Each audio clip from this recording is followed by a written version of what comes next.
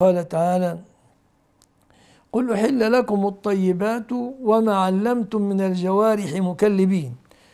هنا وما علمتم من الجوارح أي وصيد ما علمتم من الجوارح الصيد الذي اصطادته الجوارح.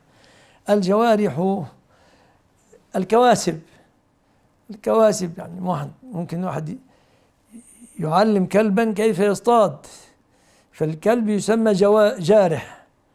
جارح أصلها الكاسب الذي يأتي بمكسب لمن؟ لسيده لصاحبه عفوا. فالكلب المعلم أطلق عليه جارح والصقر المعلم أطلق عليه جارح والنسر المعلم أطلق عليه جارح. فالأشياء الجوارح معناها الكواسب يعني الطيور أو الحيوانات المعلمة المدربة للصيد التي تأتي بمكسب تصطاد لأصحابها. تسمى الجوارح ومن هذا المعنى هو الذي يتوفاكم بالليل ويعلم ما جرحتم بالنهار أي ما كسبتم من أعمال بالنهار.